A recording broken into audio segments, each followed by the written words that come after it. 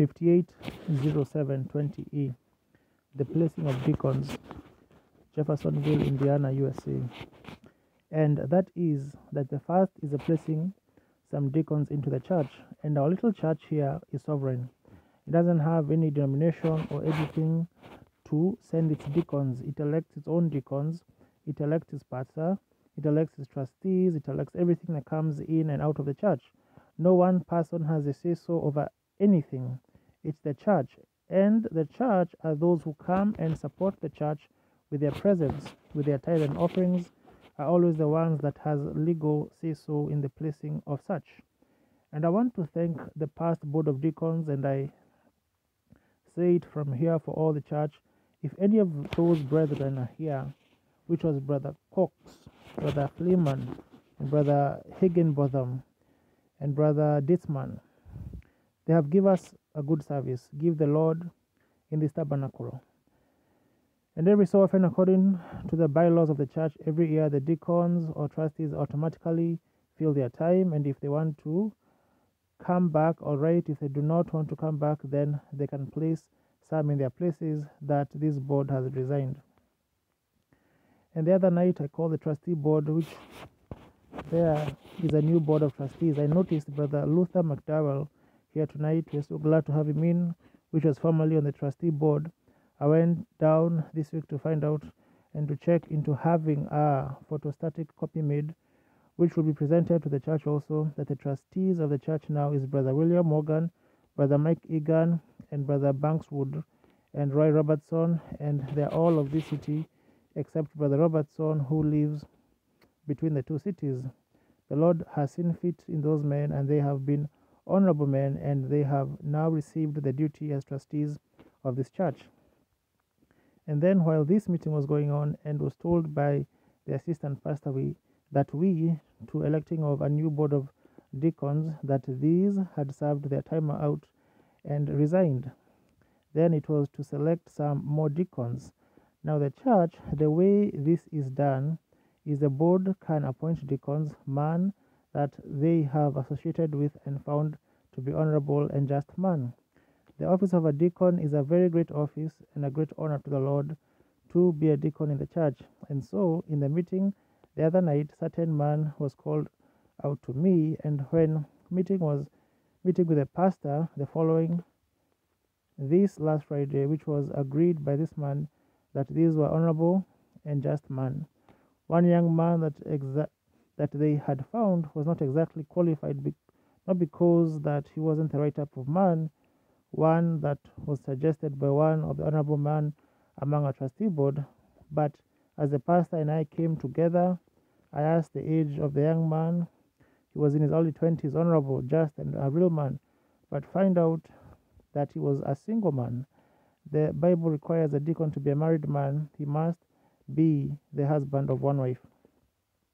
And then another man, ma- and then another man, which was a very honorable man, very qualified for the job, and would have made a loyal man as a brother suggested him. Then, after investigating the case, that the brother had just recently come into this faith, his wife doesn't believe in it. Then that disqualified the man at the office because he must have all his family in subjection. They must be also in the faith because it would be a conflict. And we're building now, and we wish to place this church. And as the general overseer of the church, I must see that it's kept scripturally, everything right to the, on the word. And so, therefore, then it has been found favorable with the board and the pastor and the overseer to select in this group of people here some man who we think to be honorable and just man. We can only bring them, and it's then they are appointed by the church by their own vote. And then these men shall serve if they feel that they will accept this office.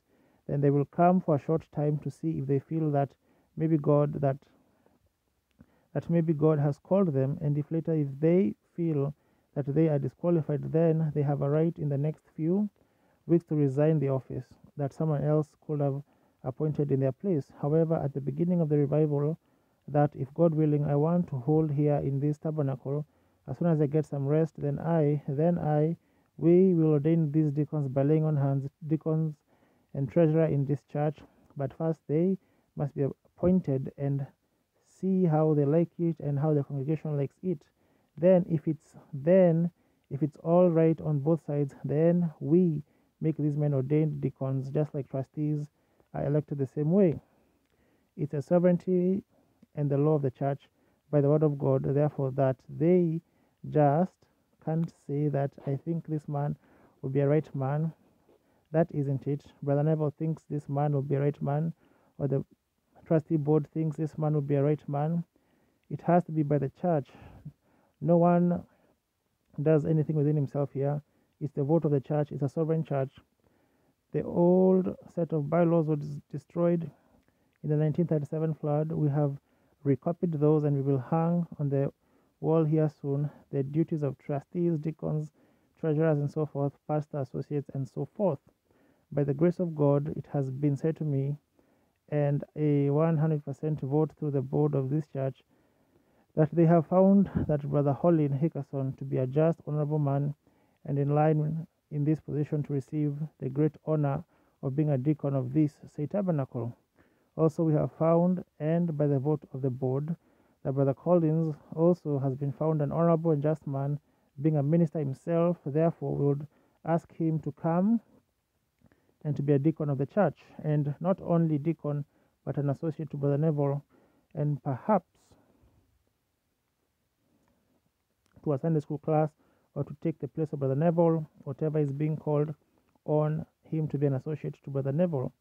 That's Brother Collins, and also the church has found in favor that Brother Tony Zabel, an honorable and just man, has been found favored before the trustee board and the pastors to ask him to receive the office of deacon in this tabernacle. And it's also been asked and found an honorable man among us, not these not being the honorable men now, but just has been selected by the board. Brother Taylor from Henryville or Memphis, I believe it is Memphis, Indiana. He's been with us for some time, acting as usher and whatever could be that the church has found favor with him or the board and pastors that he would accept the great office as being the deacon of this say tabernacle. And it's also been asked that Brother Mike Egan, son in law, Brother Bob Hand, has been selected by the board and by the pastors to accept the office as treasurer of this tabernacle, which is an honorable job and requires justice and honor. In doing this, I think, my brethren, that calling you from here, that it would be a great honor to you, and not only that, but something to do. At this time, I have, I will have Brother Neville, our associate, read the requirements of the deacon. Brother Neville, if you'll read it from the Word of God, Brother Neville reads 1 Timothy 3 8 to 13. Likewise, must the deacons be grave, not double tongued, not given to much wine, not greedy, or filthy lucre, holding the mystery of the faith in a pure conscience. And let these also first be proved, then let them use the office of a deacon, being found blameless. Even so must their wives be grave, not slanderers, sober, faithful in all things. Let the deacons be the husbands of one wife, ruling their children and their own houses well. For they have used the office of a deacon well to themselves a good degree and a great boldness in the faith which is in Christ Jesus. Amen. I would at this time ask these brethren who has been called if they would just walk forward here to the platform just a moment and as we bow our heads just a moment for prayer I want them and the church knows what this is that this is electing your deacon board and your treasurer. Lord Jesus, it is with sober, godly thinking that we come to thee now. We come in respect to thy most holy word. We come believing that Eh, let every man's word be wrong, but God's be true. And we are grateful to thee for this church which Jesus Christ has purchased with his own precious blood and has given us this building to worship in. And as the overseers of this great flock, which the Holy Ghost has ordained us to be, we are trying now to present to this congregation a loyal, righteous bunch of men that we believe to be spirit filled and ready for the office. As it is once said concerning the deacon board, go look out yourself among you, man of good reports, and with the Holy Spirit, that they might serve in this matter to take care of the widows and orphans, to distribute the money, and to take and to care for the welfare of the church. Later in years, We have just read the writing of that great inspired sainted Paul, who sets forth the declaration of the scriptures of the requirements of such positions. God, honor this man, and now it is a choice, Lord, as a sovereign church, as the body of the Lord Jesus, that they do the electing and and will direct this portion of the service in a special way in that righteous and holy name of Jesus. Now with our heads bowed, not only our heads but our hearts, and as every member of this church that comes here regular and supports it with their tithe and offerings, which is considered a member of this church, while the pastor and I alone looks, the associate pastor Brother Neville and I look on. I would ask if this church finds Brother Taylor to be a just man and eligible by the best of your thinking to be a deacon over this group of people. You will signify the same by raising your hand, Brother Branham pauses. All right, if now if there is any contrary, would you raise your hand? Brother Branham pauses. Thank you.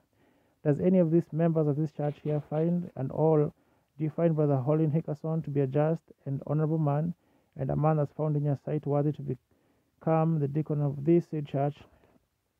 Would you signify by raising your right hand? Brother Branham pauses if it is contrary, then raise your hand. Brother Branham pauses. Does this congregation find Brother Collins to be the same, a righteous and honorable man and worthy of the job of being deacon of this church? Would you raise your hand? Brother Branham pauses. All right. Contrary, would you raise your hand? Brother Branham pauses. Does this congregation find Brother Tony Zabel to be an honorable man and worthy of this office of being deacon over this flock in this said church? Would you raise your right hand? Brother Branham pauses. Contrary, would you raise your hand? Brother Branham pauses.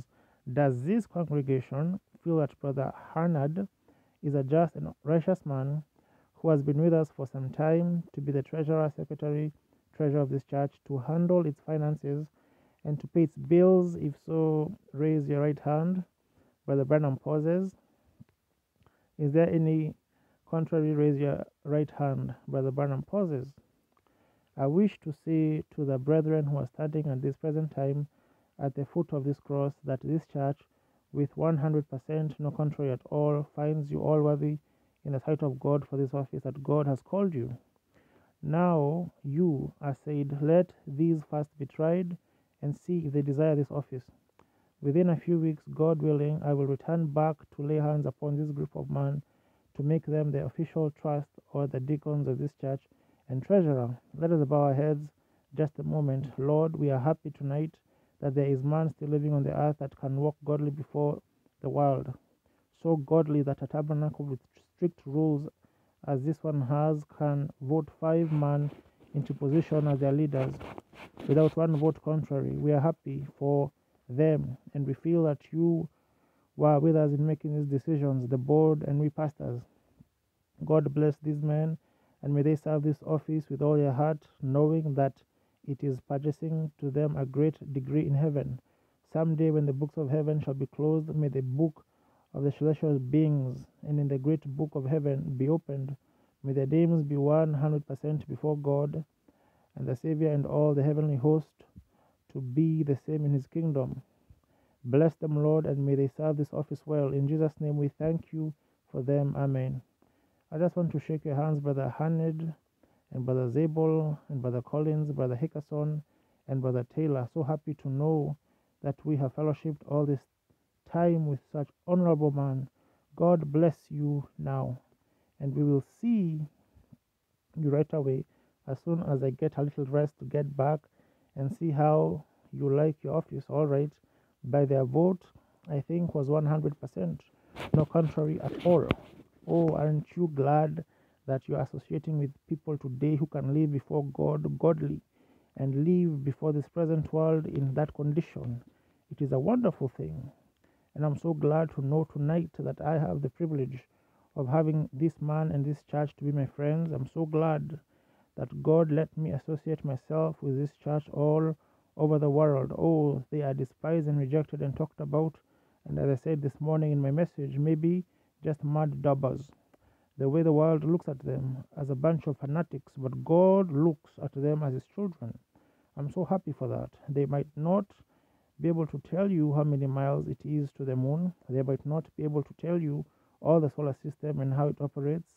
But there's one thing they do know they know the hour they were born again. I'm so glad for them.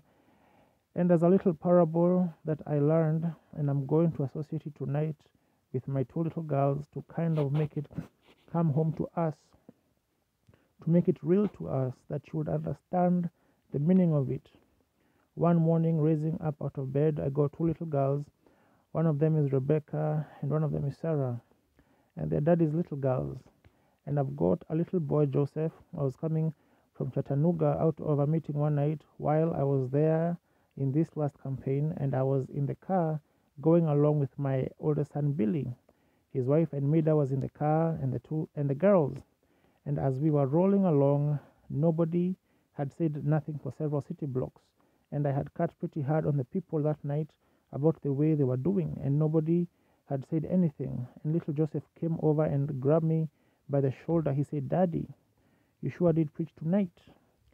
And this morning, as I was leaving and going up to 8th and 10th Streets, or Penn and 10th rather, nobody had said a thing. The wife and the two girls and little Joseph took a hold of my shoulder again. He said, Daddy, that I sure like that preaching this morning. He said, I said, Well, I've got one fan. That's my son. And to a little saying up one morning sitting in the room, little Becky come running out and say she straddled my leg and put her arm around me and she's that daddy little's girl and she was hugging me and little Sarah jumped out of bed with her little pajamas and would say, Come, running next, and the little brown eyed one Little Becky would say, Oh, Sarah, there's no need of you coming because I've got all of daddy's myself. That is all mine. And little Sarah, with her, her little lips dropped down, her little brown eyes covered up, I motioned like this and stuck out the other knee, and she came and straddled it. Becky got longer legs so they would reach the floor. Little Sarah was toddling. So I put both arms around Sarah Little Sarah looked over to Becky and said, Becky, you may have all of daddy, but daddy got all of me. And I think that's the way it is here. We might not know all of the theology and all the great Greek words this group of people might not know, but there is one thing sure I believe Jesus has got all of us. Amen. All right, Brother Neville.